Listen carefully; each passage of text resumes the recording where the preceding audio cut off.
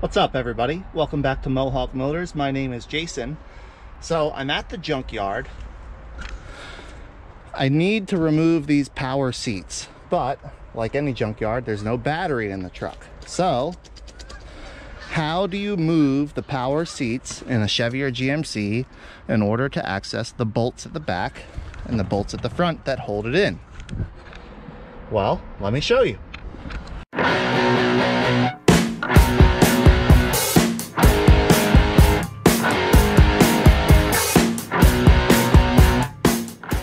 Hopefully you can see what I'm doing here. So the power seats are fed by a harness, comes out of the floor.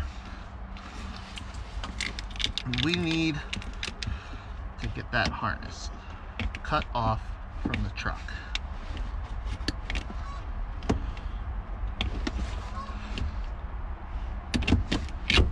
That's step one. Now you're also gonna need some kind of battery for your battery powered drill or impact or whatever it is that you have, right? And then we need to get a little bit of wire stripped off of here. So we strip a little wire. Now there's two main, there's a main power feed, which is almost always the orange wire on the GMs, and a main ground, which is almost always the largest black wire in that little connector. So you take those and get them connected to your battery.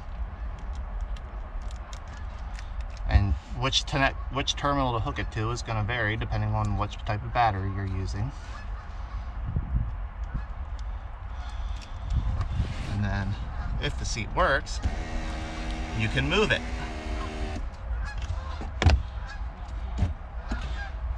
Ta-da! So I'll get these fronts undone, I'll move it forward, get the rears undone, which is gonna let me get the seat out, which is gonna let me get the center console that I want. I hear people all the time, they're looking for seats, they're looking for seats, but they can't get them from the junkyard because they don't have batteries in them. You don't need that battery. Bring yourself your little cordless battery powered drill. Even a 9 volt battery will work. A 9 volt battery will supply you with enough power to move the seat back and move the seat forward to get it unbolted. Ta-da! There you go, seat removed. Pretty easy, great little hack. If you're coming to the junkyard and looking for some seats, you need some wire strippers, a battery for some kind of cordless tool, or even just a 9 volt battery, a brand new one. These fronts, I use a 15 millimeter six point impact socket to remove. The rears, you use an E14 bit to remove. Zip them out of there, bing bang boom, you got seats. Nice bonus about pulling seats out of the way. There's almost always some money under there.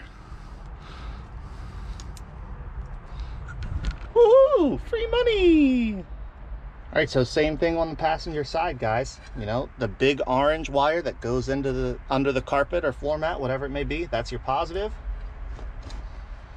The big black, that's your negative.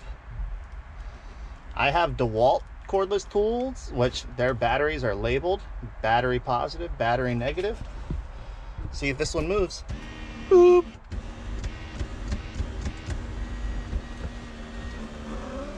Easy peasy, team.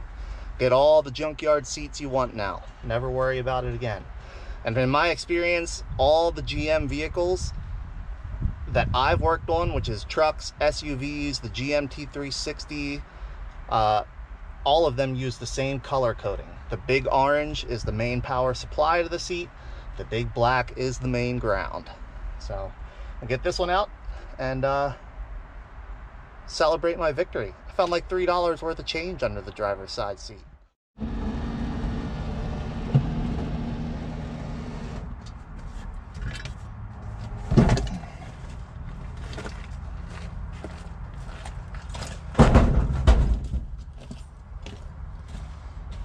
There you go everybody nothing to it bring your little cordless tool battery find that orange and black wire in the seat harness coming out of the floor hook them up to your positive and negative power seats work again, you can get those seats right out.